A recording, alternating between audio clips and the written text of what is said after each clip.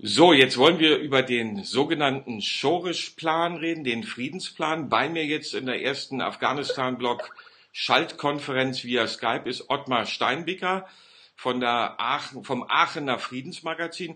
Herr Steinbicker, Sie sind mit Herrn Nakibullah Schorisch schon seit Jahren bekannt und man kann sagen, zusammen haben Sie diesen Schorisch-Friedensplan entwickelt. Erzählen Sie uns doch mal, wie kam es dazu? Gut, es ist eine lange Geschichte. Ich versuche es kurz zu fassen. Ich habe äh, Herrn Schorisch 2008 kennengelernt. Damals hatte er die nationale Friedensjäger in Afghanistan mitbegründet. Ein äh, Zusammenschluss von 3000 Stammesführern, Intellektuellen, religiösen Führern in Afghanistan. Ich war damals einer der Sprecher der deutschen Kooperation für den Frieden. Äh, ein Zusammenschluss deutscher Friedensorganisationen und Initiativen. Und seit dieser Zeit haben wir sehr intensiv äh, gearbeitet für eine Friedenslösung in Afghanistan, für eine Verhandlungslösung, äh, haben vor allen Dingen versucht, Gesprächskanäle zu öffnen zwischen den unterschiedlichen Seiten. Jetzt erklären Sie doch mal dem geneigten Zuschauer dieses Interviews, der sich jetzt so en Detail nicht auskennt und kein, keine Feinschmeckerdebatte führen kann, was ist das Besondere an diesem Schorisch-Friedensplan? Das Besondere ist daran, dass er einmal realistisch ist. Er baut auf, auf Konsensmöglichkeiten. Also es ist nicht etwas, was einfach nur am grünen Tisch erfunden ist.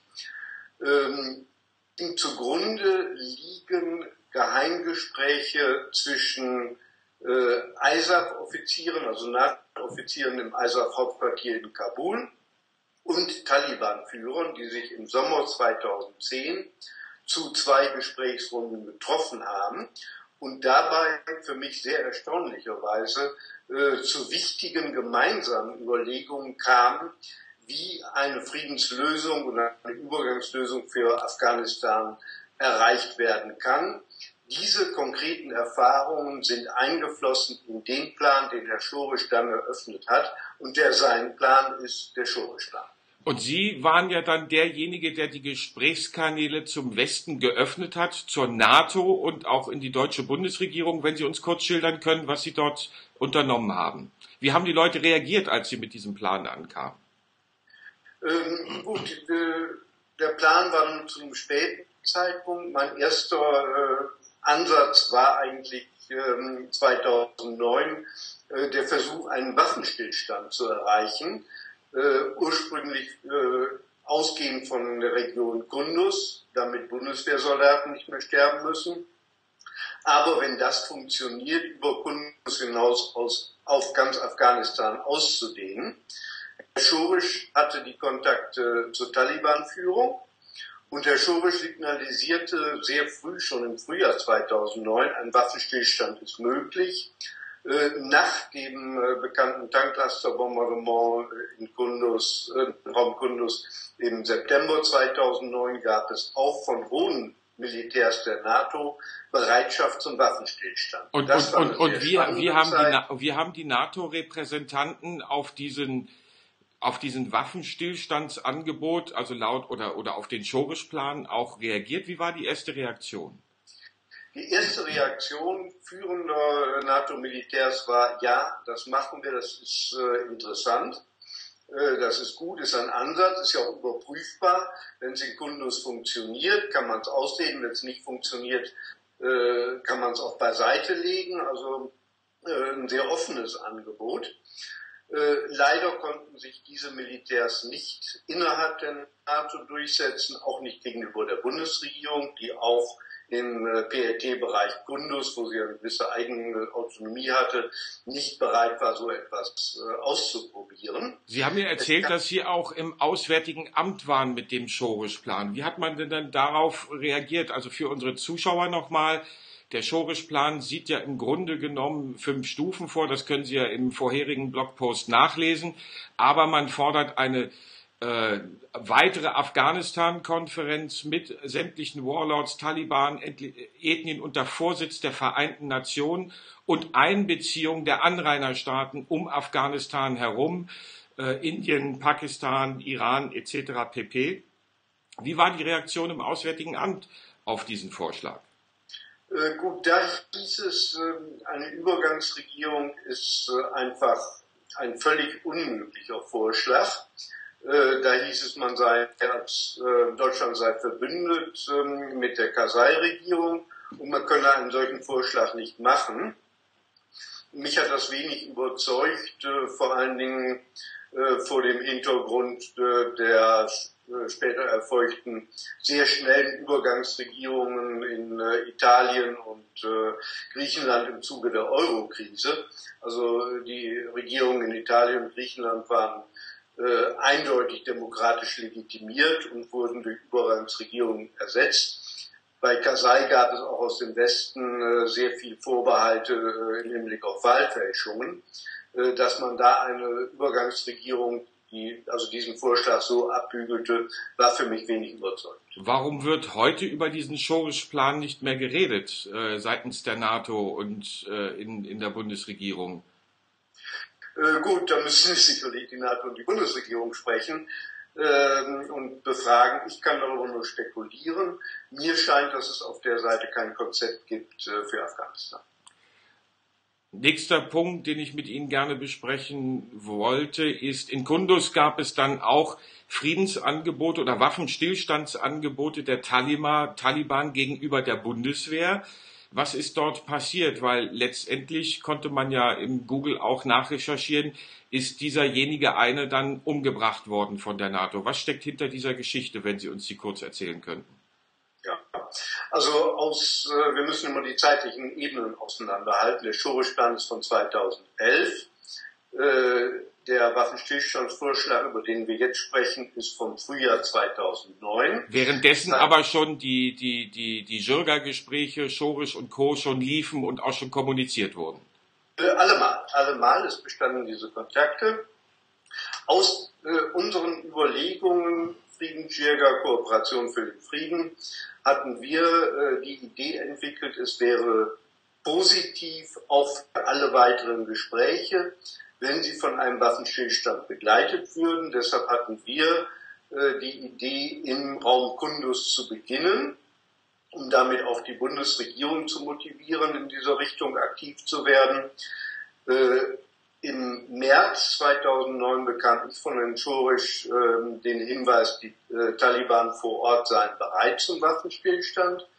Hm, da gab es aus äh, dem Auswärtigen Amt äh, mir gegenüber Desinteresse, jedenfalls von der, dem Kontaktmann, den ich anrufen konnte, äh, den ich dort vor Ort traf.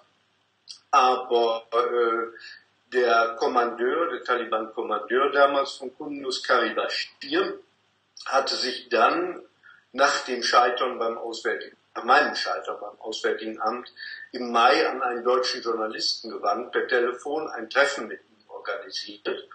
Und dieser Journalist berichtete mir dann, ähm, dass ihn der Kommandeur Talib Bashir gebeten hatte, äh, der deutschen Bundeswehr äh, zu signalisieren, er sei bereit, über einen Waffenstillstand zu sprechen.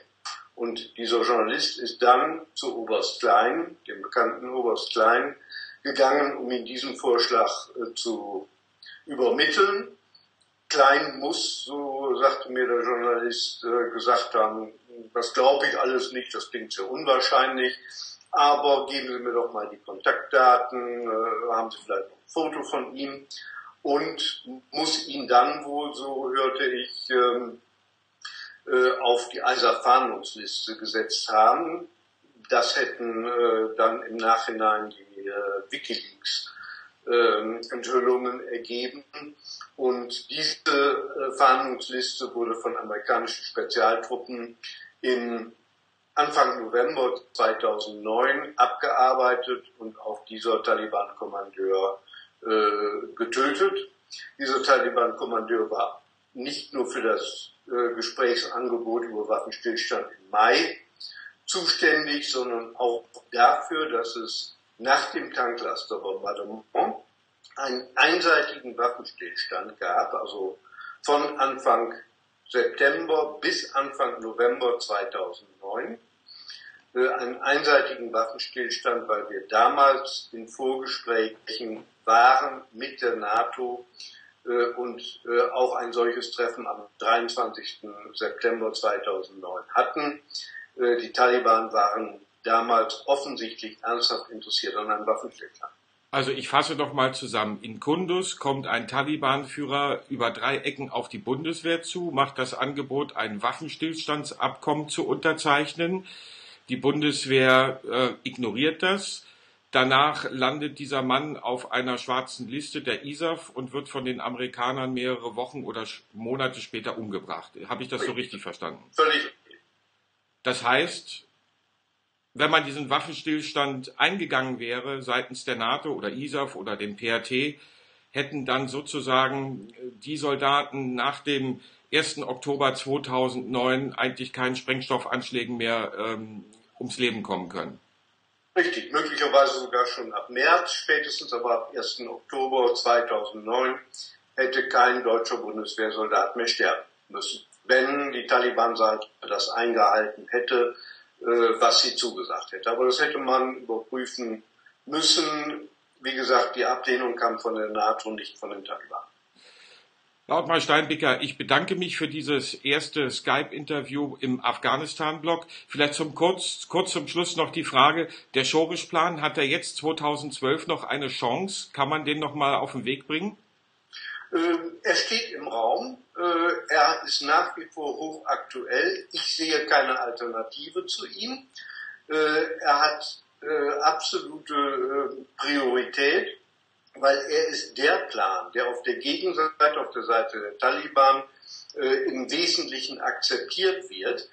Das heißt, auf dieser Grundlage kann man ernsthafte Gespräche führen. Inter gesagt, interessant ist ja auch, dass dieser Schorisch-Plan, äh, ich habe ihn ja gelesen, äh, sozusagen ein multiethnischer Friedensplan ist, verschiedener Stämme. Das ist ja eigentlich das, was ISAF und NATO eigentlich immer gesucht haben, eine ethnische Einigung, ein Weg in den Frieden von Afghanen für Afghanen in Afghanistan. Also, und er berücksichtigt eben auch diese äh, Diskussion mit der NATO, die 2010 geführt worden ist, äh, beinhaltet also insofern äh, auch Inhalte, die sich schon äh, als Konsens möglich eröffnet haben. Und da liegt äh, ja das große Gewicht drin. Also es wird höchste Zeit, auf dieser Basis zu sprechen. Die NATO ist gefordert und wenn sie sagt, gut, wir haben einen anderen Plan, okay, das wäre nicht das Problem, da muss man darüber diskutieren. Der Schurisch-Plan ist die Herausforderung, an alle Seiten Pläne auf den Tisch zu legen für eine realistische Lösung. Über diese Pläne wird zu reden sein. Herr Steinbecker, das Afghanistan-Blog bedankt sich für dieses Gespräch. Rodafes. Ich bedanke mich auch. Dankeschön.